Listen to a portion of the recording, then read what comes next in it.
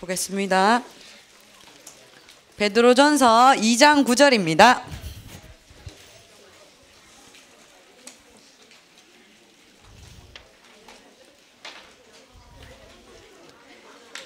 베드로전서 2장 9절입니다.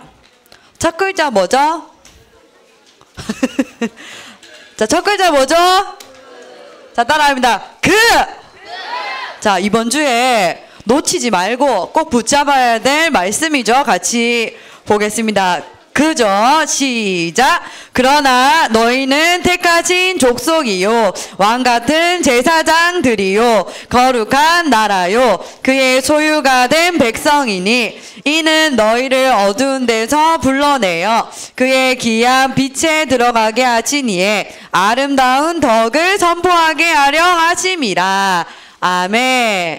자, 우리 다시 한번 읽겠습니다. 오늘 어, 초등부 발표회 보러 온 게 아니라요. 오늘 하나님 앞에 예배 드리러 왔습니다. 그래서 오늘 최고로 평안한 마음으로 예배 드리시기를 바랍니다. 다시 한번 어, 우리 어, 선포하겠습니다. 우리에게 주신 최고의 신분이고 건세죠. 우리 한 번만 다시 읽겠습니다. 집중해가지고 시작.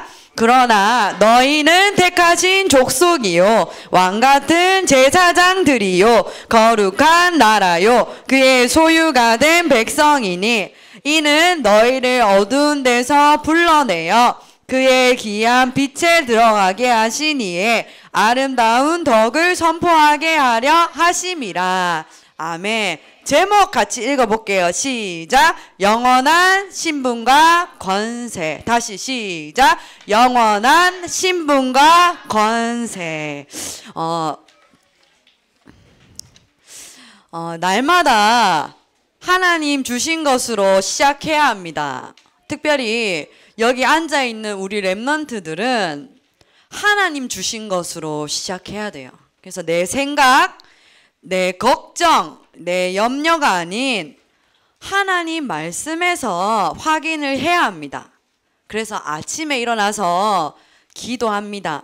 하나님, 오늘도 나에게 말씀이 임하게 하옵소서. 따라합니다. 하나님, 따라합니다. 하나님, 오늘도 나에게 말씀이 임하게 하옵소서.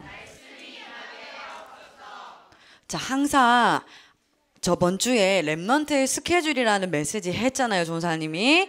아침에 일어나서 기도 수첩 하기 전에 하나님, 나에게 말씀이 임하게 하옵소서 기도합니다. 하나님의 말씀이 임하면 그 말씀이 내 안에서 역사하게 돼 있어요. 그리고 그리스도의 영이 임하여 주옵소서 내 속에 성령께서 역사해 달라고 기도합니다.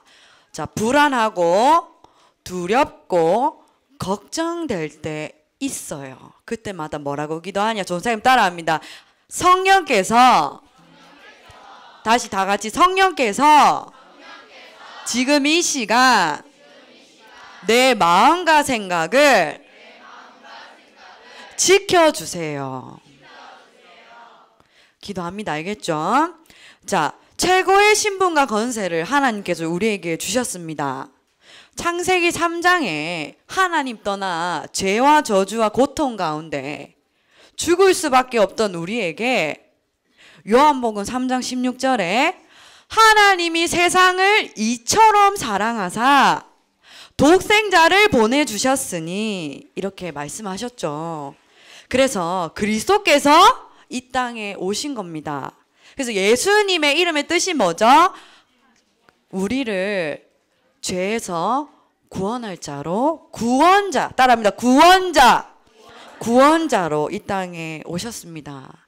창세기 1장 27절 28절에 보면 하나님이 자기 형상 곧 무슨 형상요? 하나님의 형상대로 사람을 창조하시되 남자와 여자를 창조하시고 이렇게 말씀하셨어요. 하나님 우리에게 주신 이 신분은 대단한 신분입니다. 내가 하나님의 자녀란 사실은 대단한 거예요. 근데 학교 가기 전에 집에 가기 전에 생각합니다. 나는 하나님의 자녀야. 이렇게 고백합니다. 내 입술로 고백할 때에 내 영혼이 살아나요. 그래서 제가 랩런트들에게 항상 입으로 크게 고백하는 미션을 합니다. 왜냐? 내 입으로 얘기할 때 내 뇌가 움직이게 돼 있어요.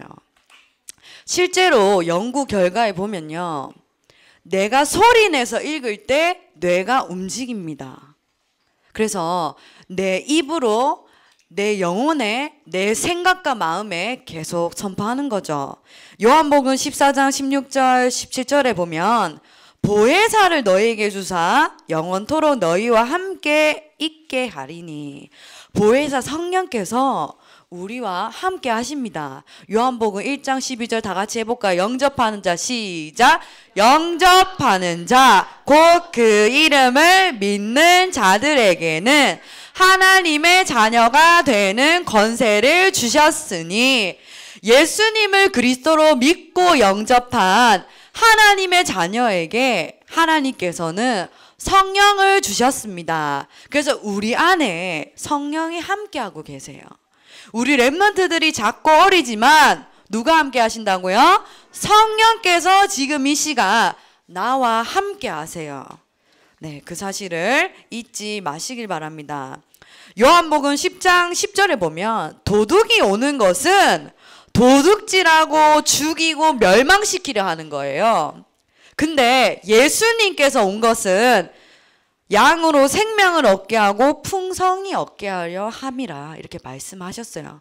도둑이 온 것은 도둑질하는 거. 사단은 어떻게 하죠? 우리를 멸망시킵니다. 우리 가정을 멸망시켜요. 근데 그리스도께서 오신 이유는 뭐라고요? 생명을 주시기 위함이라 이렇게 말씀하고 있습니다. 그래서 이번 한 주간 따라합니다. 나에게 염려를 가져다 주는 흑암 세력은 예수 그리스도 이름으로 결박받고 떠나갈지어다.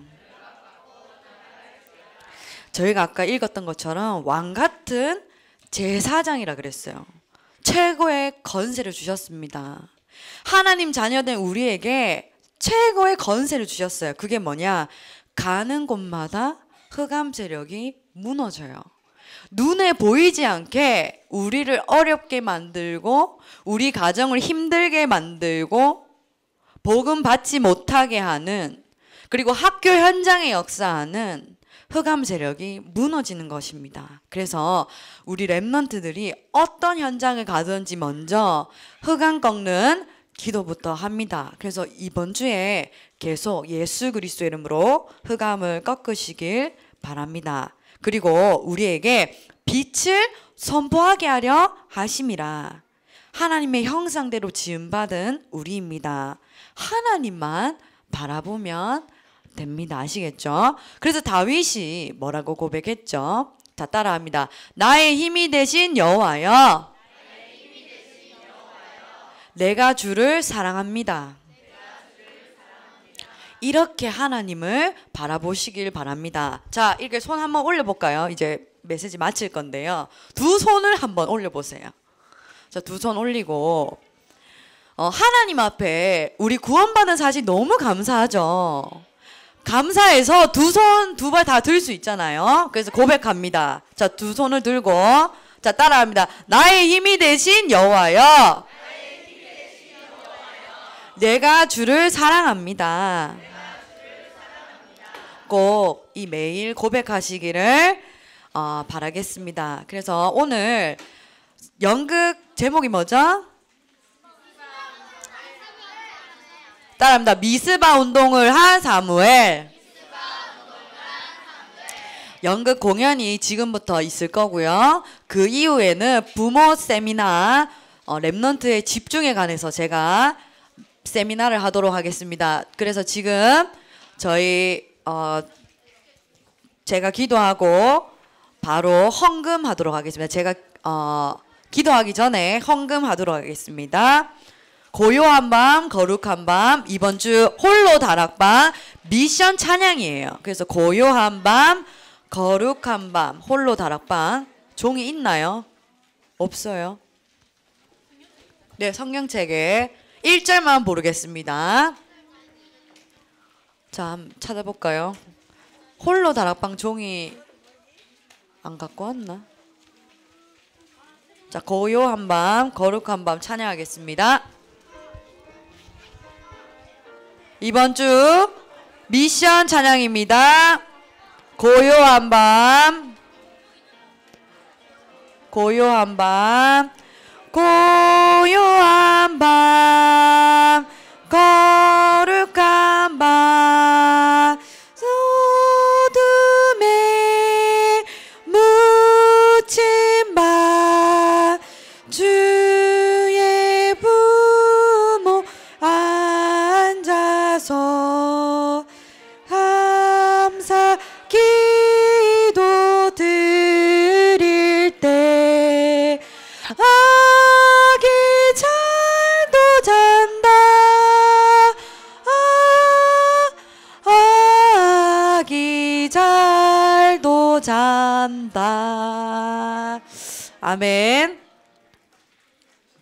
제가 기도한 후에 주기도문으로 예배를 마치고요. 바로 노정인 권사님 나오셔서 순서를 진행하겠습니다. 기도하겠습니다. 음. 지금도 살아계셔서 우리와 함께 하시는 하나님을 찬양합니다. 여기 앉아있는 우리 remnant 통하여서 전 세계 237 나라의 하나님 나라 이루어질 때까지 우리 remnant들이 복음 각인되는 축복 누리게 하여 주옵소서. 오늘 연극을 통하여 또 중요한 또 하나님의 말씀이 임하여지는 시간 되게 하여 주옵소서. 사무엘과 같이 한 시대에 우상을 박살내고 하나님 원하시는 그 말씀을 회복하고 말씀을 순종하는 우리 랩넌트들 되어줄 수 있도록 축복하여 주옵소서. 여기 모인 모든 교사 선생님들과 특별히 부모님들에게 지혜와 어, 성령 충만 주셔서 우리 랩넌트들을 복음으로 잘 양육할 수 있는 힘을 허락하여 주옵소서 감사해 드립니다. 하나님께 귀한 예물 드렸습니다. 우리 주 예수 그리스도 이름으로 기도합니다. 하늘에 계신 우리 아버지여 이름이 거룩히 여김을 받으시오며 나라에 임하옵시오며 뜻이 하늘에서 이루어진 것 같이 땅에서도 이루어지리다. 오늘날 우리에게 일용할 양식을 주옵시고 우리가 우리에게 죄 지은 자를 사하여 준 것 같이 우리 죄를 사하여 주옵시고 우리를 시험에 들게 하지 마옵시고 다만 악에서 구하옵소서. 나라와 나라와 권세와 영광이 아버지께 영원히 있사옵나이다. 아멘.